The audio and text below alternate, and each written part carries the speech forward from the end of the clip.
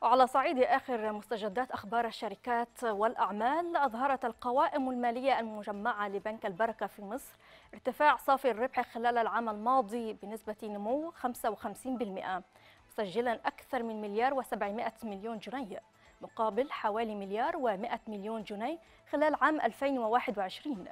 وأرجع البنك هذه الزيادة في صافي الربح إلى صعود صافي الدخل من العائد بنحو 25% خلال العام السابق ليسجل حوالي 3 مليارات و400 مليون جنيه. مقارنة بنحو مليارين و700 مليون جنيه خلال 2021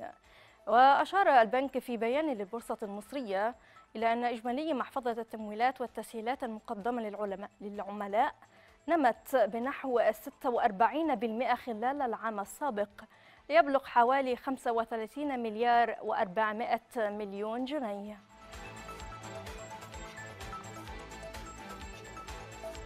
وفي سياق آخر نشرت البورصة السعودية تداول تقرير سوق أدوات الدين للربع الرابع من العام السابق حيث بلغ إجمالي قيمة إصدارات الصكوك والسندات المدرجة بنهاية الفترة نحو 525 مليار ريالا. بارتفاع بلغت نسبته 3% مقارنة مع الربع الذي سبقه وأضافت البورصة أن إجمالي القيمة المتداولة بلغت خلال الربع الرابع من العام السابق نحو أربعة مليارات ريال مقارنة مع ملياري ريال فاصل 470 مليونا للربع الثالث أي بارتفاع نسبته 62%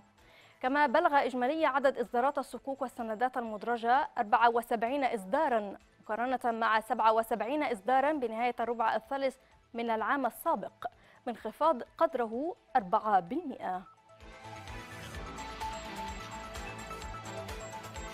إلى ذلك وافقت البورصة السعودية على الطلب المقدم من وزارة المالية لإدراج أدوات الدين الصادرة عن حكومة المملكة العربية السعودية من فئة سبق إدراجها بقيمة إجمالية بلغت 3 مليارات ريال فاصل 657 مليون